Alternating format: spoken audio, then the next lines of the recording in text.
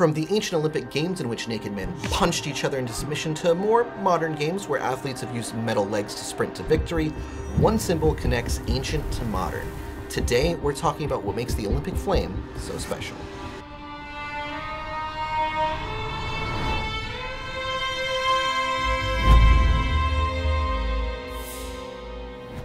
Some would say the story of the Olympic flame started all the way back in the ancient games, held in Olympia in 776 BCE. But to understand why fire was so important to the Greeks, you have to look at mythological prehistory. The Greeks believed fire was given to them by a primordial titan named Prometheus, who stole it from the gods proper, enkindling the minds and spirits of mortals.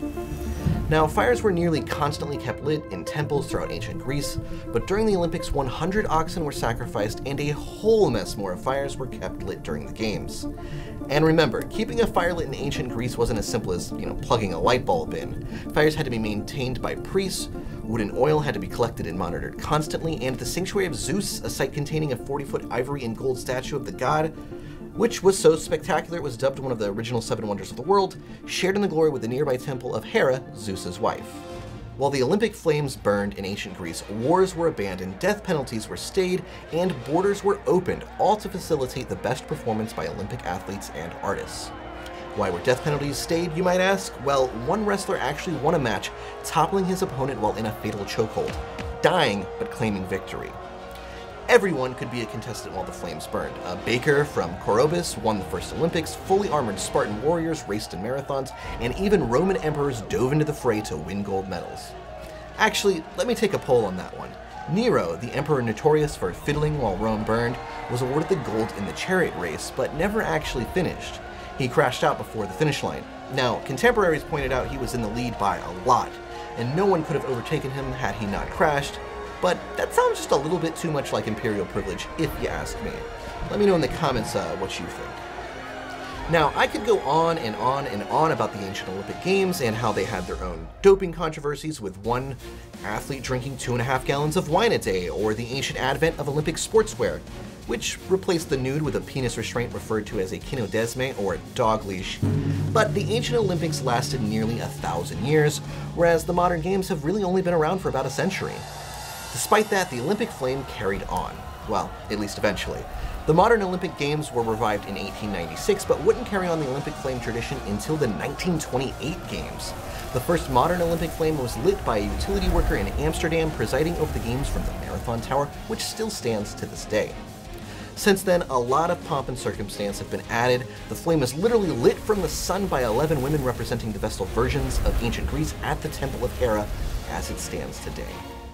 These women use a parabolic mirror to literally take the fire from the sun.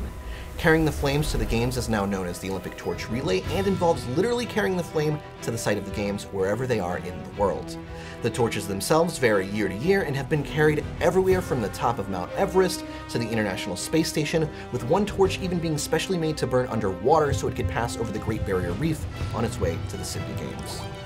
Participating nations nominate torchbearers, and the people who light the Olympic cauldron are always given top honors. The 1964 torch, for example, was used to light the outset of the Tokyo Games by Yoshinori Sakai, a man born in Hiroshima the day the atomic bomb was dropped. He ignited the flames to signal the renewal of Japan. Ripley's Believe It or Not actually has the torch that Muhammad Ali used to kick off the games in Atlanta.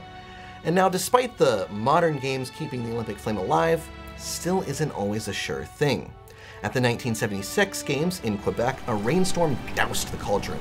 An official actually relit the flame using his cigarette lighter. But that flame was quickly snuffed out and relit with a backup flame because, of course, they keep backup flames. The IOC keeps backup flames in protected locations, all of which were lit from the original flame in Olympia.